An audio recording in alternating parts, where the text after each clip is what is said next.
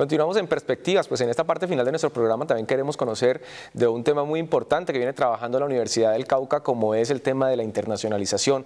Si bien es cierto, esto también es un punto estratégico, un eje articulador para la acreditación institucional. ¿Cómo se viene adelantando ese trabajo desde la Universidad del Cauca, doctor Vivas? Ah, yo creo que además de ser importante dentro de este proceso de acreditación institucional, el problema de la internacionalización es una necesidad en el mundo globalizado que hoy vivimos.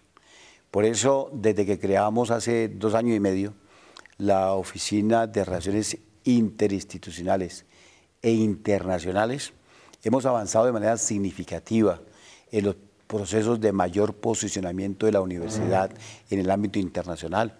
Producto de eso hemos logrado suscribir un importante número de convenios con distintas universidades de los cuatro puntos cardinales del mundo, en donde son convenios que han permitido la movilidad de profesores y estudiantes. De manera específica tengo que hacer relación al programa Erasmus Mundus, que permitió que durante seis meses profesores y estudiantes nuestros estuvieran en varias universidades de la Unión Europea desarrollando sus programas de formación.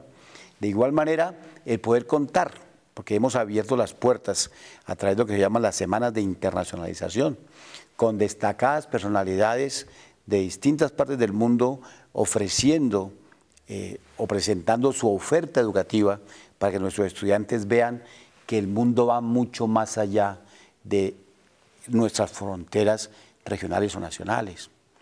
Muy grato decirles que fue aprobado en el día de ayer por parte del ICETES el que la Universidad del Cauca llegue un estudiante chino durante un año es importante para nosotros porque eso va a ser parte de un convenio binacional que hay entre Colombia y la República Popular China, la que eh, convenio que se concretó y que tuve la oportunidad de ser testigo de excepción en la visita que se hizo del señor presidente de la República, un grupo de rectores de universidades públicas y privadas del país y un grupo de empresarios hace tres años a China y a Japón. Eh, eso es el valor agregado que la internacionalización le da a la academia, porque la obliga, como está sucediendo, a que desarrollemos una cultura de bilingüismo. Si no hay bilingüismo, no hay cómo interactuar.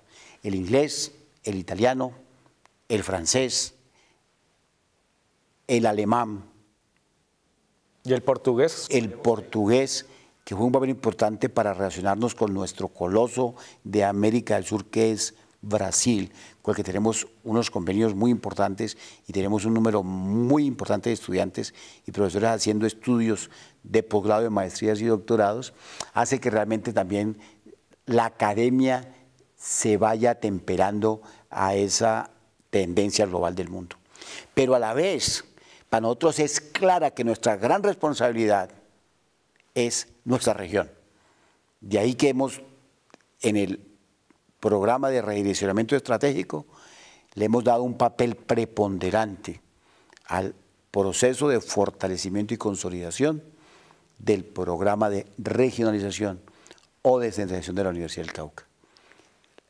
La orientación, fortalecer y consolidar como entes autónomos con patrimonio y estructura propia las sedes de la Universidad del Cauca en Santander de Quilichao, Silvia, Bolívar Cauca y Guapi con acción en toda la región norte caucana, población indígena, sur y macizo colombiano y costa pacífica. Allí es donde tiene sentido el nombre de Universidad del Cauca, que hasta mediados de los años 90 se reducía a la Universidad de Popayán. Ese es un salto que hemos dado que nos diferencia de los anteriores años de la vida institucional que estuvo, si no a espaldas, muy ausente de los desarrollos locales, regionales. Ante los procesos globalizadores hoy, se impone el desarrollar los procesos regionales y nacionales.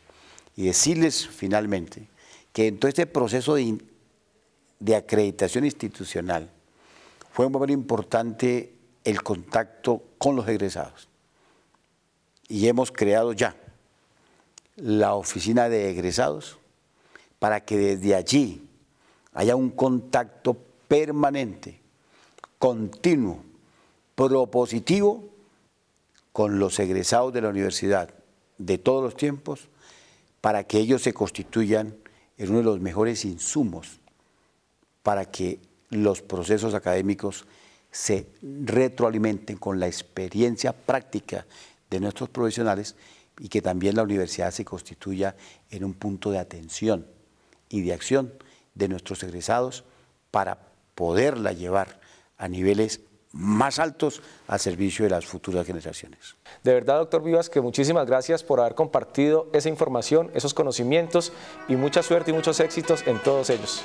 No, la suerte y los éxitos son para todos nosotros, no solamente para quienes estamos dentro de la universidad, sino para ustedes, queridos televidentes, que también le dan vida y sentido a esto, que es el mejor patrimonio que tiene una comunidad, su universidad. Muchas gracias a ustedes, amigos televidentes, invitarlos para que nos acompañen nuevamente en otro espacio de perspectivas. Hasta pronto.